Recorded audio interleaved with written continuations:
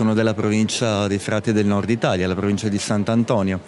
Ho partecipato a questo convegno perché io sto finendo il dottorato di ricerca in diritto canonico e il tema della mia tesi è proprio la consacrazione religiosa, quindi il convegno proprio ha affrontato tanti aspetti che io già nella tesi ho cercato di presentare. Ormai siamo arrivati ecco, alla conclusione del nostro percorso, è davvero stato un tempo davvero di grande grazia perché sono emerse questioni ancora un po' irrisolte da parte della teologia e soprattutto poi della traduzione canonica.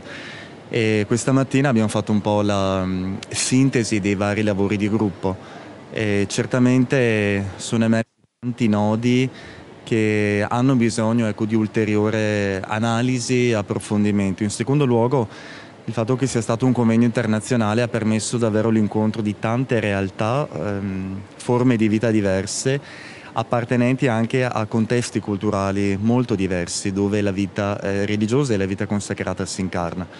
Quindi davvero mm, un bilancio molto positivo per questa esperienza.